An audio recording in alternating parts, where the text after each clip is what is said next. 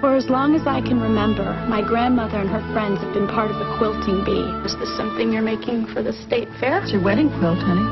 Universal Pictures and Amblin Entertainment present the story of a young woman whose eyes are about to be opened by the women who've seen it all. If you had to choose between marrying a lover or marrying a friend, who would you choose? Winona Ryder, How to Make an American Quilt.